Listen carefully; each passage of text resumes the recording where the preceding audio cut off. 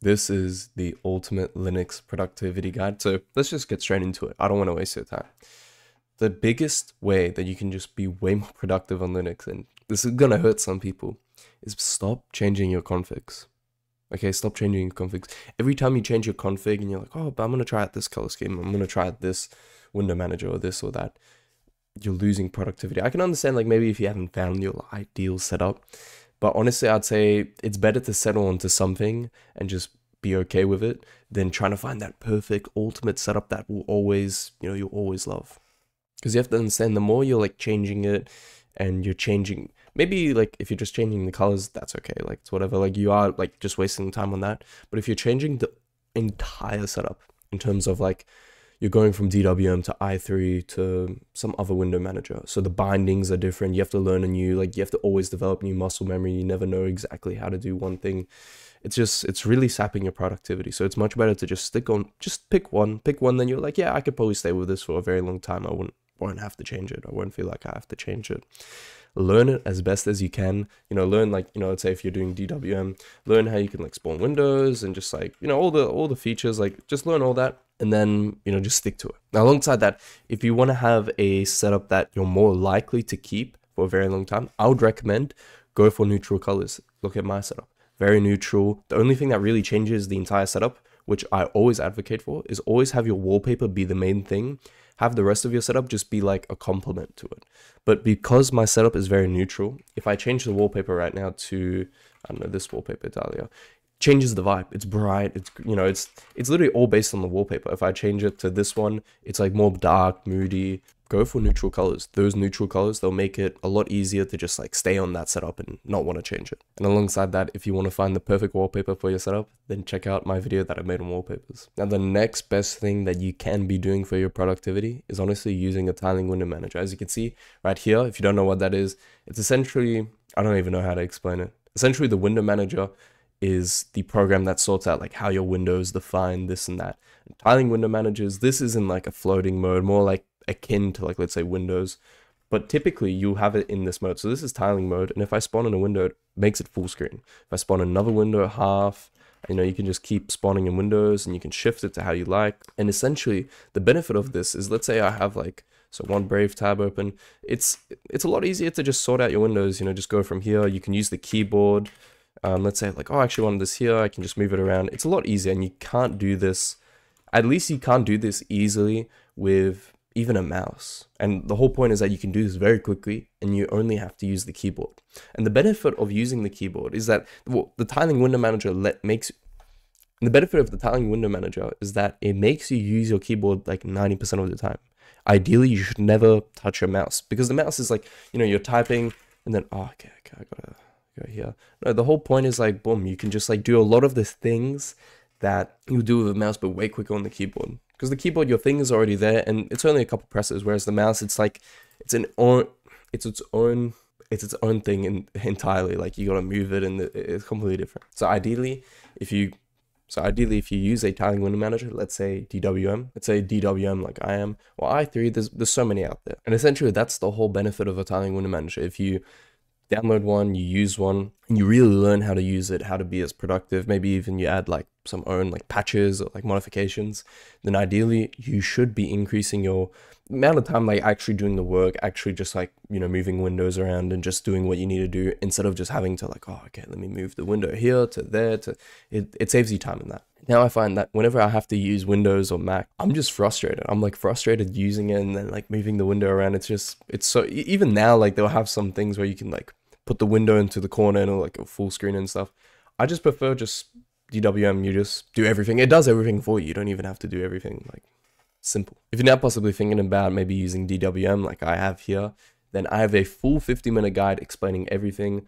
Goes into detail about how to download, patch, install Rise, everything everything that you can think of, it's answered in that video. Check it out. Now, this next piece of advice is probably more applicable if you're on Arch or another rolling distribution, but it is to update infrequently or update only when you need to, maybe when you're installing new software, something like that, then yeah, okay, update. But just updating like every day, every second, who knows, like some update comes out and breaks your system. It's not common. It's actually not common. Honestly, it's pretty stable. The amount of people that are, oh, Arch is unstable, it just breaks, not true. It's definitely not true.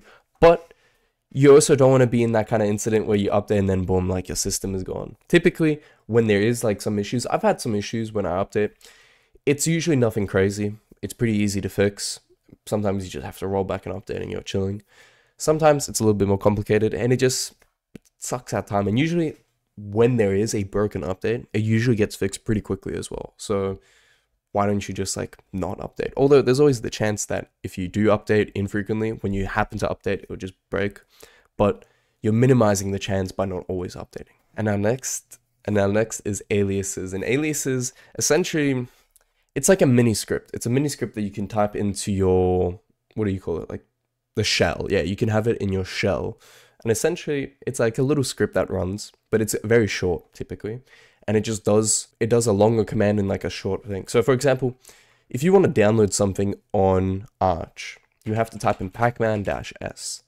This just when when you're doing it a lot, it gets annoying. So what I did is I literally just set it to p and then I can just type in whatever command. So I can type in p-s and then, you know, it's just removing that pacman to p. That saves you time. Like think about it. The amount of times that you're going to update in this, why do you have to type in the rest of the ac acman? Like, you know, like why don't you just type p? Simple other things like for example if i want to update my phone like if i want to pull all the images from my phone it takes a whole thing like you got to mount it do this do that i don't even remember. Now if i have my phone plugged in i, I don't right now all i'd have to type in is iphone update and then it just gets all my phone it gets all the photos from my phone and then it just boom puts it on my computer and then it disconnects and it's it's all good. So little things like that processes that you'll do frequently it's good to have them in an alias. Just saves you time, there's no need to. And I'll quickly show you how to do it. So I'm using Zsh, so if I type in zshrc, then we'll bring up my like Zsh config file. And obviously I have a lot of things like, and obviously I have a lot of different like things that I've set up here, a lot of configuration. But essentially you just pick a spot, you type an alias, and then you can type in the alias for whatever you want. And typically you can do something like, okay, whenever you copy, make sure it does the I flag, which is like interactive, like it'll ask you like, are you sure you want to overwrite this or do this or whatever. Um, but then other times, like I'll have something like something like okay, like if I want to get the weather, I never actually use this. I don't know why I have this, but if I want to get the weather, then it can do this curl wttr.in, and then it pulls it up. But honestly, I never even use this, so it doesn't even matter. Or here, like for example, I've got this experimental command. I'm still like working on this, but if I type in Kindle Anki, when I plug in my Kindle, it'll get the files, or it'll change the directory, it'll like do all these things, and essentially it'll turn all these like vocabulary cards into Anki cards. So you could be pretty creative with it and you can save a lot of time because then you don't have to be like, oh, I have to go to this and that. You can just type in the one command, boom, it does everything for you. If you want to learn more about aliases, check out my video. On the next, and to be honest, I don't know why I put this so low, but the terminal is super powerful. If you learn how to use the terminal instead of just a file browser, you're going to be way better. The terminal has, the terminal is literally everything. That's what I realized, that the terminal is literally everything in Linux and that every other application is just a terminal, but you know, just like with a GUI. For example, the terminal is, you know, it is a file browser in a way. It is a file browser, but it's actually more than that. But for example, if you want to change your files, you want to copy, all the commands are here. Copy, RM, everything. So again, if you want to check so honestly, so honestly, if you want to get good with Linux, learn the terminal, learn how to use it, practice using it. If you want to get good at Linux, honestly, just use the terminal for everything. That's what I recommend. Just try and use the terminal for everything. Figure out how to do things. And not only that, there's just so many ways to delete stuff. Like, not only that, there's like so many ways to just increase your efficiency. It's like way more efficient in the Linux terminal. For example, I remember my home directory was cluttered. It had so many like random files, like .mp4s, dot, like it just had random files from like video editing. And for example, I had a lot of files that were the Kdenlive project. So it was like .kdenlive. A very easy way to delete, like if it's on Thunar or some file browser, it's going to be a little bit more complicated. Things might be scattered or at best, like it's going to be like ne- next to each other. All you have to do is type in rm dash Kdenlive and you're done.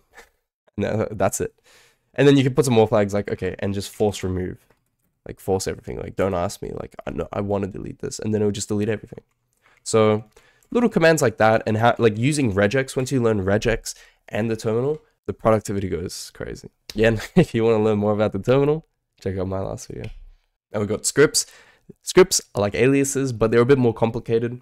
For example, I've already done a whole bunch of videos about scripts. Maybe you already know about some scripts, but for example, if you check the price of Bitcoin a lot, you know, you go to the browser, you go this and that. I remember that's what I was doing. It took forever. Now all I have to do is type in BTC wait like three seconds. Boom, I got all the price. I got all the things that I would be interested in. And all it is a simple script where curl and then there's just a bit of like JQ. So learning how to do things like this, again, just gonna save you a lot of time. Again, this is like a whole like different dimension in itself. And again, if you want to really get like good at this, you also have to know the terminal. There's like no way that you can be good at scripting but bad at terminal because the scripting is literally using the terminal. Again, like I change my wallpaper a lot. I've got a whole script to change my wallpaper. I don't have to like type in the command specifically. I can just like, you know, I get a nice menu and then I can like select and boom, whatever, it just changes it. So it's like very, very easy. If you don't know if you should use a script or not, think about like what tasks do I do often that kind of takes a while that I could just do like a lot simpler. If so, if there's a task like that, then script it and figure out how. Again, if you check out some of my older videos, whole bunch of them talk about like scripting and different scripts, and it kind of shows you like the intuition, like how you can start getting into it. Alongside that, nowadays you can also be using ChatGPT to kind of like build a foundation. Now, sometimes it's not always working because you know it's just grabbing random scripts from like the internet, but sometimes it will, and you know just a little bit of modification, then it just works. Now, this one is going to be maybe a little bit more left field, but it is to also tailor your browser to productivity. So, for example, I'll show you this. If I go to YouTube, uh, you're going to see that my YouTube experience is completely different. It's blank, completely blank. There's nothing here. It's just, there's nothing. Hide your feed. Honestly, hide your feed. Why should you have all these like random thumbnails like kind of distracting you? Imagine like you want to learn. Like let's say like, oh, I'm just a high school student and I want to learn how to differentiate a function or something. I click on YouTube and oh, now there's like, you know, the, all these thumbnails of these videos I'm actually more interested in. How are you going to then type in, yeah, derivative? Like, yeah, maybe you will most of the time, but you're going to be distracted. Again, if, if you want to hide your feed, all, all it is is just this distraction for YouTube. Just very easy uh, extension. There's other ones like hide YouTube thumbnails. And there's also like hide YouTube thumbnails. So like if I type in derivative formula or something like that, then it's all the videos, but no thumbnails. It's purely title based. This way, you're re- you're really thinking like, okay, which one has the best title? There's no views or anything. You're just judging it based on the title. What do you think will be more helpful? Not based on which one is the most pretty.